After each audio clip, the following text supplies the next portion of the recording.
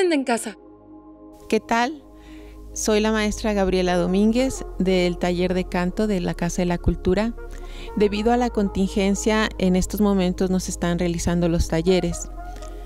Entonces, eh, me es muy grato compartir con ustedes una serie de ejercicios que ustedes podrán practicar en casa. Vamos a empezar por explicar lo que es la respiración. Obviamente para el canto es muy importante la respiración. Entonces tenemos que estar relajados y siempre es con la sensación de que oliéramos un, el perfume de una flor. ¿sí? Entonces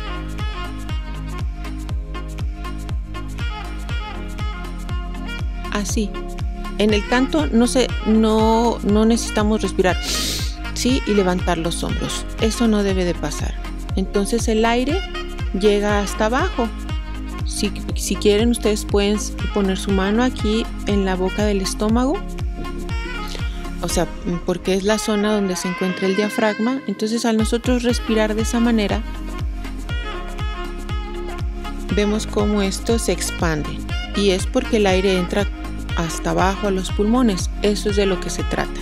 ¿Sí? Entonces eso es lo básico para poder cantar y, para la, la técnica de respiración para el canto. Muy bien. Vamos a empezar con un ejercicio muy muy sencillo que de lo que se trata es de que nos relajemos. Relajemos los, los labios, de eso es lo que se trata. Entonces hacemos el sonido de la trompetilla. Es este mm, sonido que hacen los bebés cuando son pequeños. ¿Sí? Entonces iniciamos.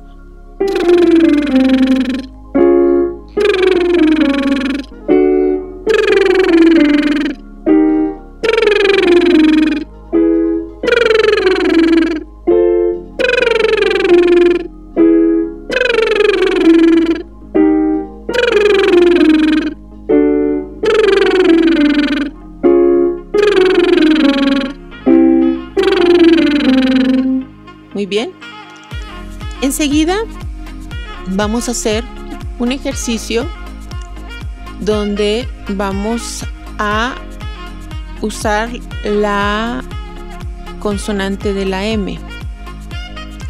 Mm. Y el ejercicio sería.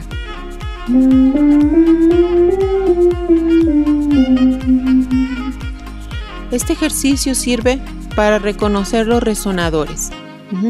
El aire, obviamente tenemos la boca cerrada, solamente sale por la nariz, entonces nosotros tenemos que sentir el flujo de aire constante por la nariz, como si hiciera esto,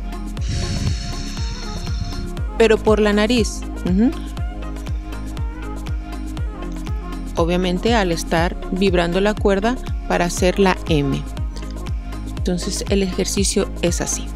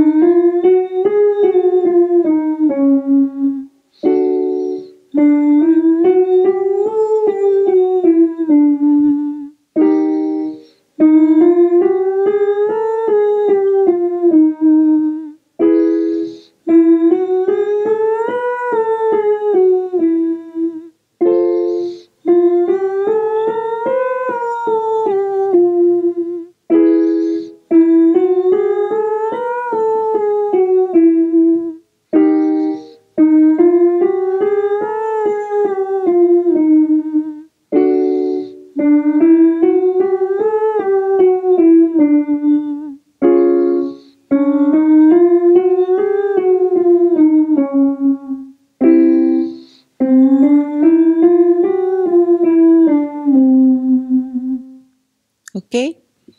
Siempre disfrutando de nuestro sonido, ¿ok? Siguiente ejercicio. Le vamos a poner vocales a esta M. Entonces sería,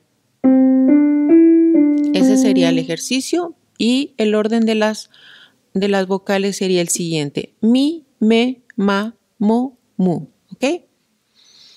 Mi, me, ma, mo, mu.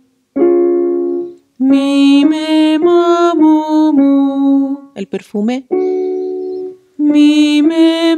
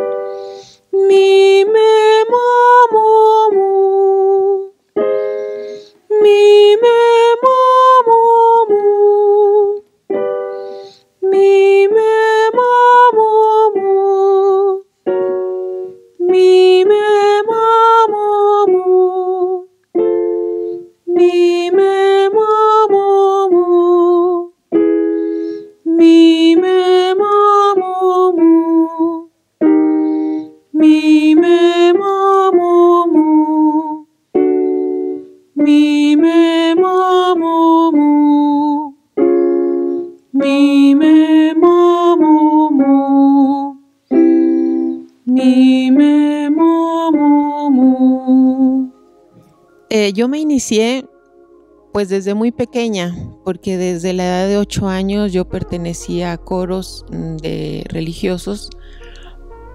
Y mm, ya a la edad de 17 años fue que entré a un coro mm, de aficionados, pero donde se abordaba música polifónica y ahí empecé a conocer a grandes autores como Mozart, Haydn, Vivaldi. De ahí entonces me nació la inquietud de tomar el canto como una profesión y para el resto de mi vida. Entonces realicé mis estudios, inicié en Ensenada, Baja California. Me trasladé después a la ciudad de Guadalajara y ahí entonces eh, entré a la UDG, ahí estu estudié el instructor de música en la especialidad de canto. También pertenecí al coro del estado de Jalisco. Pertenecí también al taller independiente de la Secretaría de Cultura de Jalisco. Entonces, bueno, mm, obviamente he abordado el pertenecer al coro del estado me dio la oportunidad de abordar muchísimo repertorio coral participé en óperas en temporadas de óperas eh, conocer a mucha gente también eh, tengo mi trabajo como solista en el cual también he abordado repertorio desde ópera, oratorio, música mexicana, música barroca. Es, entonces, bueno, después de que estudié, a los años me casé eh, con un pianista. Eh, mi esposo y yo tenemos dos hijos que en la actualidad son violinistas y mm, como familia hemos conformado una agrupación que eh, hacemos conciertos, hacemos, trabajamos en ceremonias religiosas, o sea, la música la hemos llevado a nuestro modo de vida. Eh, siempre he estado cantando, o sea, otra oficio u otra no, no lo he hecho nunca. Sí, mi pasión ha sido el canto, la música y este de unos años, bueno, no tan pocos, ya bastantes, alrededor de unos 20 años como mínimo. Inicié de una manera un poco accidentada, por decirlo de esa manera, de este, a, a dar clases, a compartir mis conocimientos. Esto fue porque una amiga me dijo, Gaby, por favor, hazte cargo de esta alumna porque yo me voy a ir a un compromiso de unas presentaciones que ella tenía.